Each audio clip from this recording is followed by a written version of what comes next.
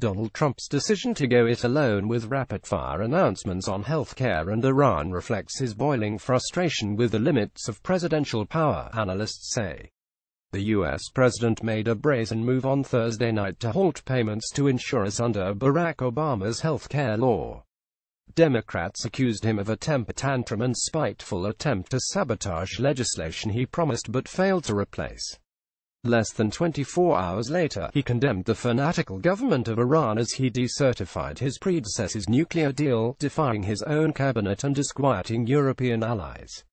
The one-two punch showed Trump straining to assail Obama's legacy but stopping short of terminating either the Affordable Care Act, known as Obamacare, or the Iran nuclear accord. Both are back in the hands of Congress, a source of constant exasperation for the property tycoon turned novice politician who finds himself isolated and lashing out. The Congress has been frustrating to him, John Kelly, the White House chief of staff, told reporters on Thursday.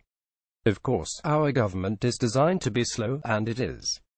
His sense, I think, as a man who is outside the Washington arena, a businessman, much more of a man of action, I would say his great frustration is the process that he now finds himself in.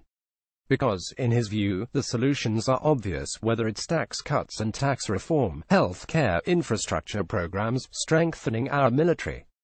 To him, these all seem like obvious things that need to be done to protect the American people, bring jobs back.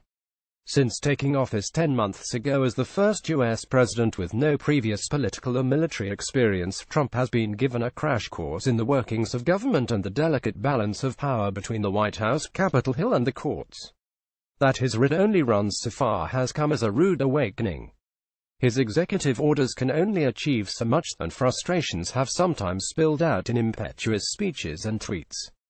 Rick Tyler, a political analyst and partner at Foundry Strategies, said he is acutely aware of the limits of presidential power. It's not like being the CEO of a company where you just do what you want to do. By using executive orders, Trump is making something happen on health care. AG's prevented from changing it himself, but will force another branch of power to react.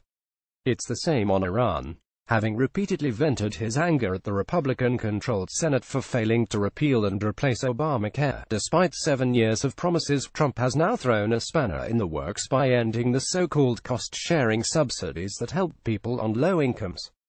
The White House claims the government cannot legally continue to pay the subsidies because it lacks formal authorization by Congress. Donald Trump has responded by his inability to govern as he likes by throwing red meat to his base. Photograph Yuri Gripas Reuters The president explained on Friday it's step by step by step and that was a very big step yesterday. We're going to have great health care in our country. We're taking a little different route than we had hoped because Congress forgot what the pledges were. So we're going a little different route. But you know what in the end, it's going to be just as effective, and maybe it will even be better. The intervention, however, could backfire. It was condemned by Democrats including the House Minority Leader, Nancy Pelosi, who told reporters the president single-handedly decided to raise America's health premiums for no reason other than spite and cruelty.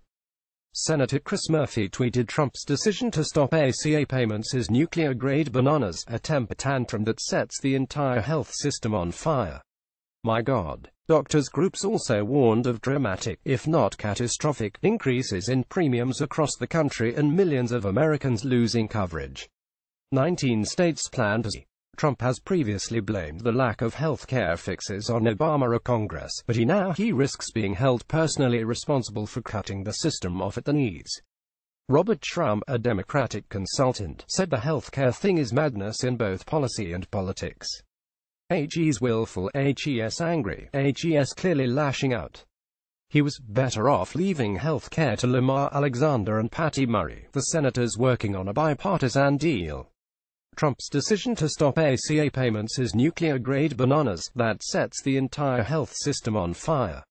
My God Senator Chris Murphy Trump's claim that Iran has not lived up to the spirit of the nuclear deal and his threat to terminate it also put him at odds with his Secretary of State, Rex Tillerson, and his Defense Secretary, Jim Mattis. The Israeli Prime Minister, Benjamin Netanyahu, said he welcomed what he called a courageous decision, but the leaders of Britain, France and Germany said they stood committed to the agreement. Evan McMullin, a former CIA operative and independent presidential candidate, wrote via email I think the president's actions on healthcare and Iran are the latest examples of his standing political strategy, which is to throw red meat to his base in order to maintain his base as evidence of his unfitness and inability to govern mounts. If anything, his use of this tactic seems to be accelerating as it becomes increasingly clear, even to some of his closest friends and political allies, that he is failing. This acceleration coincides with reports of a darkening in Trump's mood.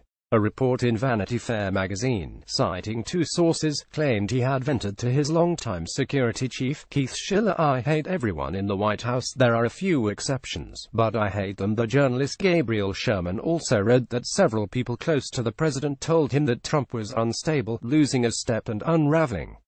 Such concerns appear to be reaching a critical mass. NBC News reported that Tillerson had referred to Trump as a moron. The president insisted the story was false, but challenged Tillerson to an IQ contest. Senator Bob Corker set off a political firestorm when he responded to tweeted attacks by Trump. Photograph Shawn Thew Weapon then Senator Bob Corker became one of the few Republicans on Capitol Hill to openly denounce Trump, though it is widely suspected that he speaks for many colleagues. During a Twitter clash last Sunday, Corker wrote it's a shame the White House has become an adult daycare center. Someone obviously missed their shift this morning. In an interview with the New York Times, the senator from Tennessee said I know for a fact that every single day at the White House, it's a situation of trying to contain him. He doesn't realize that we could be heading towards World War III with the kind of comments that helps making. He also told The Washington Post on Friday that Trump had castrated Tillerson with remarks about his attempts to talk to North Korea. Thomas Barrack Jr., a billionaire who was the top fundraiser for Trump's election campaign, said he has been shocked and stunned by some of the president's incendiary rhetoric and tweets. He thinks he has to be loyal to his base, Barrack told The Washington Post. I keep on saying, but who is your base? You don't have a natural base. Your base now is the world and America, so you have all these constituencies show them who you really are. In my opinion, HES better than this. If anyone can get through to Trump, it may be Barrack, one of his oldest friends.